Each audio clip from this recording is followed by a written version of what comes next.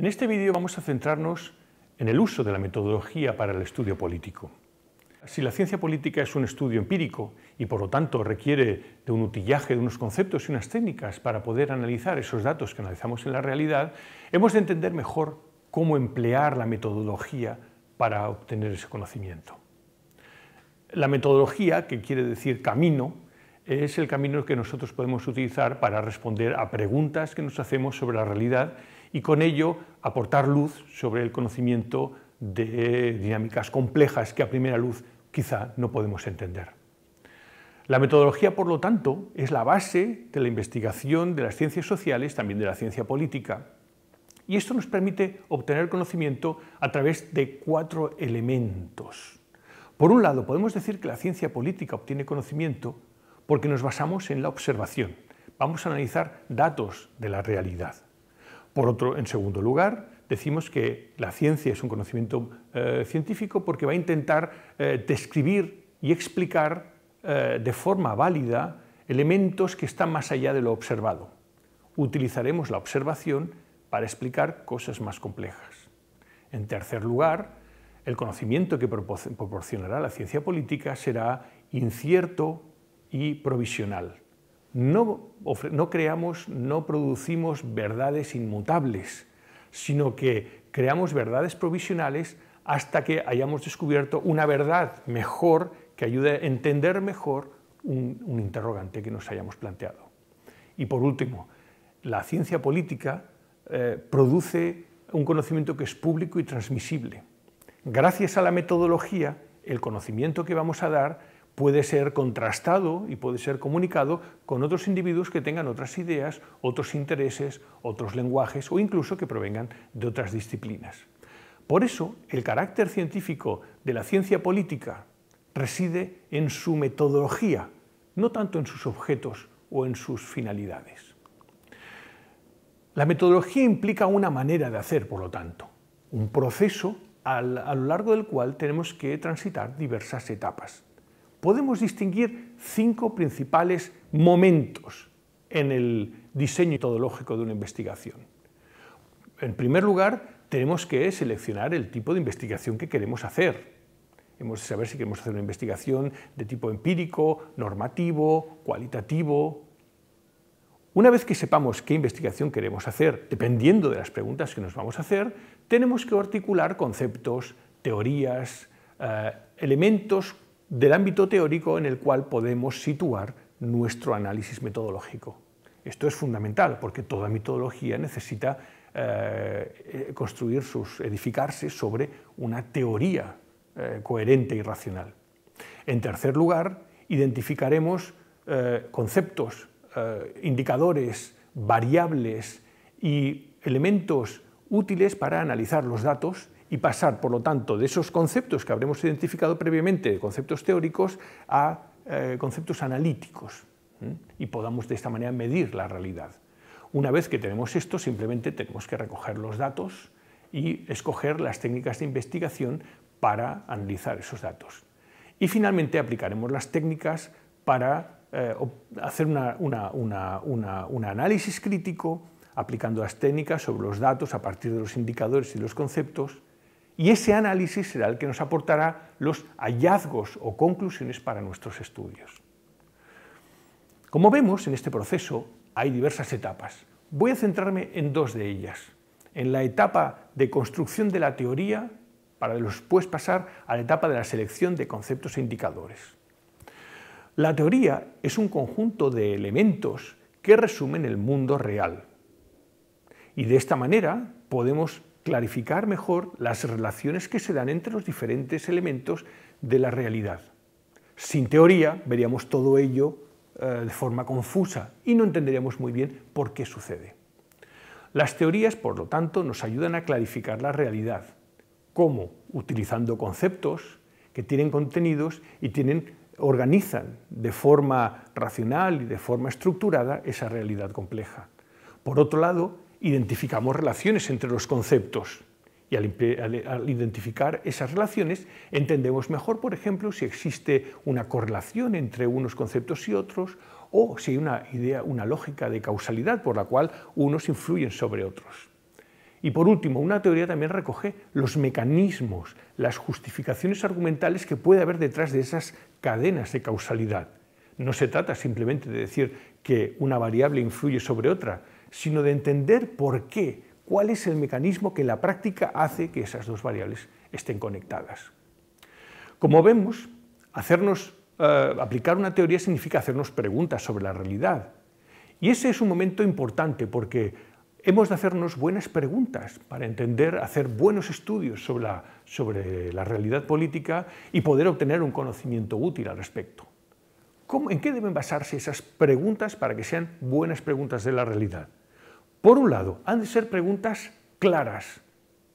Cuando nos planteamos sobre, hacemos un interrogante sobre la realidad, tenemos que hacernos una pregunta que sea clara, explícita, concreta y por lo tanto una pregunta que se pueda responder y no dé lugar a una elaboración eh, eh, confusa o oscura. En segundo lugar, tiene que ser una pregunta suficientemente general y no sobre casos específicos para que eso nos permita trasladar las explicaciones a otros ámbitos distintos desde el que las hemos producido. En tercer lugar, las preguntas tienen que evitar juicios de valor. Esto es fundamental porque, como hemos explicado ya en otras ocasiones, en ciencia política no queremos eh, preguntarnos cómo deben funcionar las cosas para cambiar el mundo, lo que queremos es explicar ese mundo para que luego los individuos, los políticos, los gobernantes y los gobernados utilicen ese conocimiento como crean adecuado. Las preguntas que introducen juicios de valor enturbian la lógica y no pueden ser respondidas. Además, hemos han de ser preguntas que tengan una cierta relevancia teórica. No podemos hacernos preguntas que sean por excesivamente concretas o por excesivamente simples ser preguntas que en el fondo no nos están respondiendo a nada importante de la realidad y por lo tanto son preguntas inútiles. Por último, hemos de evitar preguntarnos por cosas que aún no han sucedido. Muchas veces tenemos la tentación de preguntarnos por lo que está sucediendo ahora, por cuáles van a ser las consecuencias de decisiones que ahora se están implementando, y eso no podemos responderlo desde la ciencia política. Una vez que hemos utilizado una teoría y hemos hecho preguntas para poder responder con esa teoría, entramos ya en el paso en el cual construimos hipótesis, que son respuestas provisionales a esas preguntas. Las hipótesis son un paso fundamental en la construcción de conocimiento político, porque preceden al análisis de los datos y nos señalan las respuestas lógicas que deberíamos obtener a una pregunta dependiendo de la teoría o de los supuestos que nosotros estemos esperando. Tenemos dos tipos de hipótesis esencialmente. Hay una hipótesis descriptiva que principalmente se pregunta por si algo está sucediendo o no en la realidad. Las preguntas descriptivas, como el ejemplo, eh, funcionan, son las democracias más desiguales o producen las democracias más igualdad que los, sistemas autoritarios? Estas preguntas eh, basadas en eh, hipótesis eh, descriptivas nos aportan un conocimiento sobre qué está pasando en ese momento, pero no nos dice por qué está sucediendo.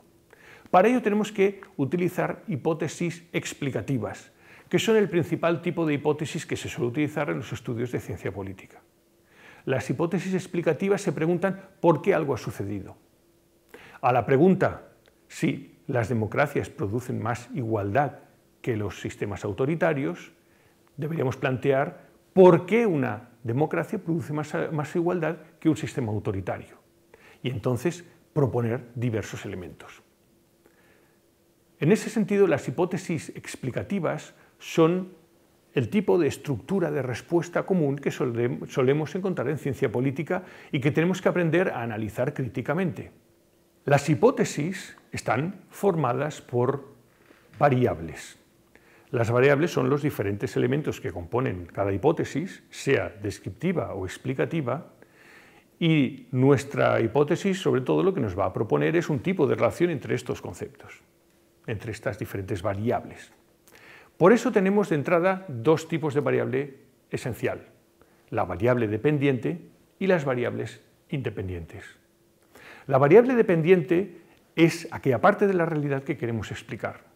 y eso significa que su valor depende de otras variables. Por lo tanto, la variable dependiente cumple la función de aquello que quiere ser explicado y será, por lo tanto, el elemento central de nuestra explicación.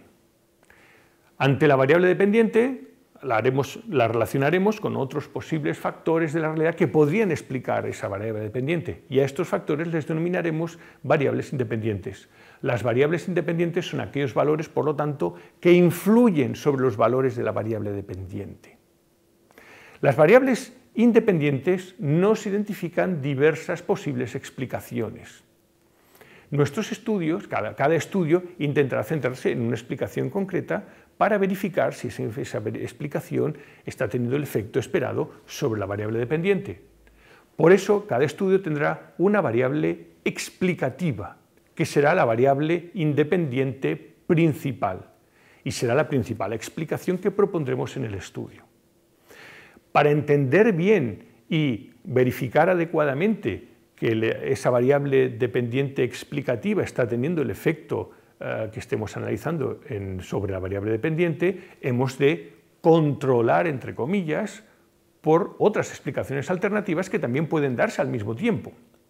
Por eso, habrá otras variables independientes distintas de la variable explicativa que denominaremos variables de control.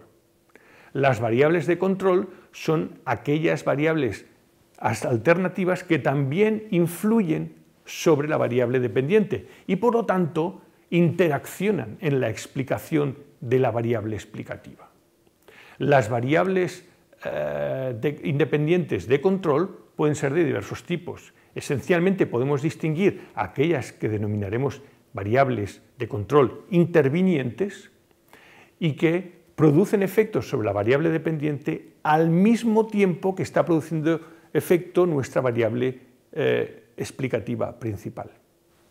Luego están las variables de control antecedentes, que son aquellas que producen efectos antes que la variable explicativa principal. Y por lo tanto, hemos de tener en cuenta esos efectos para descontar o comprender mejor cómo se está eh, produciendo el efecto de nuestra variable explicativa principal. Una vez que tenemos construidas las hipótesis, hemos de pasar a contrastarlas en la realidad con los datos. Y para ello necesitaremos utilizar adecuadamente conceptos e indicadores. Este ya es un paso distinto porque este nos conecta la parte teórica, donde hemos construido teorías, preguntas e hipótesis, con la parte estrictamente de análisis de los datos. Por lo tanto, ese puente formado por conceptos e indicadores es fundamental. Los conceptos son la parte más abstracta nuestra observación de la realidad y son cajones o eh, instrumentos que reúnen los atributos mínimos esenciales para identificar un objeto de la realidad política. Los conceptos son, por lo tanto, a la vez abstractos, pero tienen que tener un grado de concreción suficiente para que le demos un sentido. Hemos de evitar, en ese sentido, el riesgo que Sartori nos eh, denominaba de estiramiento de los conceptos, hacer conceptos tan amplios que al final no sabemos lo que queremos decir. Es un problema, por ejemplo, que podemos ver con el concepto de democracia. Si no definimos democracia de forma suficientemente eh, limitada y concreta, al final democracia puede significar cualquier cosa y entonces no, será posible seguir adelante en la creación de conocimiento. Cuando creamos conceptos, sea el concepto abstracto como el concepto de democracia o como el concepto de libertad o representación, o conceptos mucho más operativos como el concepto de partido político o el concepto de gobierno, estamos por lo tanto identificando cuáles son los objetos que vamos a medir en la realidad. No obstante, los conceptos pueden ser distintos porque hay distintas formas de la realidad. Podemos distinguir, por ejemplo, entre conceptos categóricos, cuando nosotros queremos identificar el sexo de un individuo, puede ser hombre, puede ser mujer, o podemos a partir de aquí crear mm, otro tipo de, conceptos, por supuesto, respecto al sexo, ¿no? podemos crear tantos como queramos. En cualquier caso, los conceptos categóricos tienden a identificarse por una lógica de igual o diferente. Es decir, cada categoría creada por ese concepto es distinta de todas las demás. Y todas ellas tienen un elemento común que por eso son categorías del mismo concepto. Esto es distinto de los conceptos de grado. Los conceptos de grado son conceptos que, cuyos atributos se ordenan en términos no de igualdad-diferencia, sino de mayor o menor. Por ejemplo, el concepto de edad. El concepto de edad puede dar lugar a una serie de atributos. Podemos tener más edad o podemos tener menos edad. Conceptos categóricos y conceptos de grado, por lo tanto, implicarán formas distintas de ser medidas. Sartori también nos sugería referirnos a dos tipos de conceptos según el tipo de abstracción. Por un lado estaba lo que denominaba los constructos teóricos, que son aquellos conceptos que son suficientemente abstractos y que solo tienen sentido en el marco de una teoría. Por ejemplo, cuando hemos hablado anteriormente de observación o de representación. Sin, embargo, luego tenemos los conceptos que Sartori denominó términos de observación, que son conceptos que están orientados a identificar realidades concretas. Tenemos que saber distinguir cuando utilizamos un término como un concepto, como un constructo teórico, o bien un término conceptual como si fuera un término de observación. Si hablamos de democracia como elemento teórico abstracto, tendremos que referirnos con diversas teorías. Si hablamos de democracia como término de observación, tendremos que identificar qué es democracia y qué no es democracia, independientemente de la perspectiva teórica que abordemos. Los conceptos empíricos o términos de observación son los esenciales en el análisis empírico de nuestros estudios. Y podemos trabajar con ellos o podemos definirlos según el nivel de intención que le demos, si le damos más propiedades o menos propiedades, o según el nivel de extensión eh, que empleemos, dependiendo si incluyen más, más objetos o menos objetos. Por lo tanto, eso significa que un concepto puede ser definido de formas distintas y todas ellas pueden implicar diferentes formas de ser medido en la realidad. Lo importante es que seamos muy claros cuando definimos los conceptos para que el resto de autores que leen nuestros estudios entiendan a qué nos estamos refiriendo. Tengamos en cuenta en último extremo que hacer conceptos demasiado genéricos o construir un artefacto conceptual demasiado eh, amplio demasiado generalizado, al final no nos va a dar mucha información, porque no sabemos realmente a qué parte de la realidad nos estamos refiriendo. Y ello va a ser muy importante cuando tengamos que utilizarlos, convertir estos conceptos en indicadores. Los indicadores son categorías numéricas con los cuales vamos a traducir la realidad. Es decir, son formas de medir la realidad para dar sentido a un concepto. Los indicadores es la última etapa antes de entrar ya en el uso directo de los datos de carácter eh, cuantitativo o de carácter cualitativo. Tenemos diferentes tipos de indicadores, pero esencialmente podemos identificar tres. Indicadores nominales, que son aquellos que nos marcan categorías que no necesariamente tienen que resumirse de forma numérica. Indicadores ordinales o de grado, en los cuales estamos midiendo niveles diversos, más o menos, Podemos crear un indicador que sea, por ejemplo, el indicador de apoyo a la democracia, donde podemos distinguir entre bajo, medio o alto. En cambio, podemos tener también indicadores continuos o de intervalo, que son indicadores donde pueden tener todos los valores posibles eh, eh, para medir una realidad. Imaginemos que queremos medir el apoyo a la democracia, por ejemplo, eh, no en términos ordinales, bajo, medio, alto, sino en términos continuos. Por ejemplo, porcentaje de individuos que apoyan la democracia. Y ahí podemos tener desde un 25,3% hasta un 89,6%. Y entre ellos todos los puntos son posibles. Estos tres tipos de indicadores, por último, nos ayudan a resumir la realidad y convertirla en, ese, en esa cuantificación numérica o en esa, eh, en esa instrumentación de valores eh, cualitativos que nos permitirán ser analizados con las técnicas que empleemos. Esperamos que esto os haya sido interesante y os esperamos en la próxima lección.